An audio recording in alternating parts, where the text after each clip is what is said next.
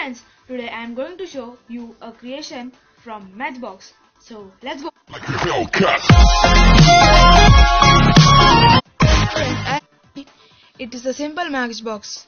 I turned this matchbox into this, a Lamborghini Aventador.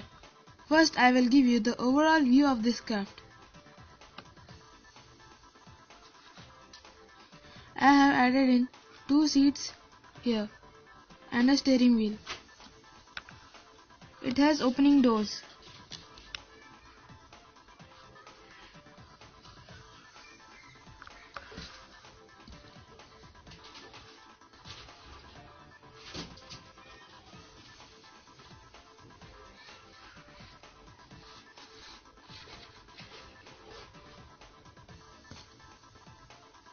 Friends, in this craft, the matchbox extends from the front tire to the back tire.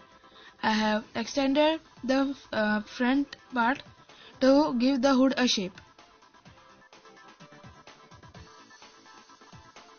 So friends, if you like this video, please hit the like button and if you are new to my channel, please subscribe my channel for more crafty videos.